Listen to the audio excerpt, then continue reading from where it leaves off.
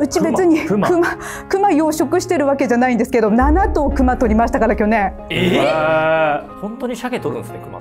あの 餌餌を食べに来るんです。餌は栄養価が高いんですよ。サーモンの餌。あそっちっすサーかモンの餌。を食べるんだ。そうなんです。はあ。ペレットって言ってはああの魚粉なんですねサーモンの餌は。それって栄養価が高いんですよやっぱり。その餌を食べに来るんです。はあそっちを狙われるんですね。そう。で餌を食べられないようにすごい板とか張ってやるんですけど今度そうすれば違うところ狙われるんですよ。魚行ったりうーん。もう本当に対策のしようがなくて。